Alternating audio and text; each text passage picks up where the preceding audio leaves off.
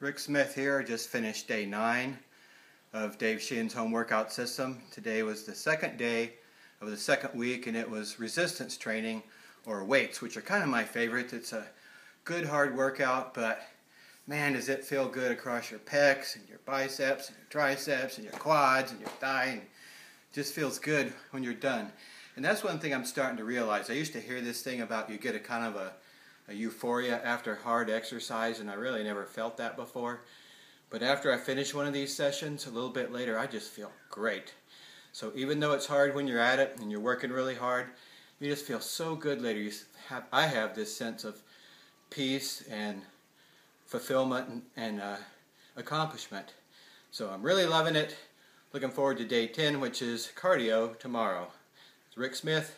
See you tomorrow.